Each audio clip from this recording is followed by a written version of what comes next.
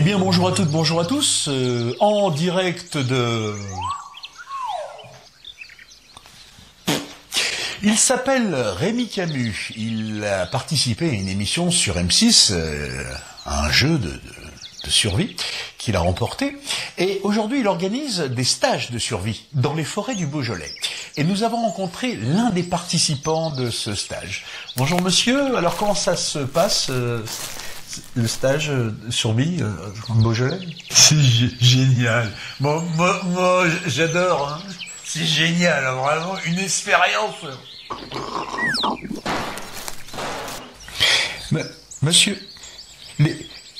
oui, oui, oui, ben écoutez, merci. Euh, vo- voilà, donc euh, on en sait un peu plus. Hein, c'est a priori, euh, c'est c'est pas si désagréable que ça, quoi. À vous les studios.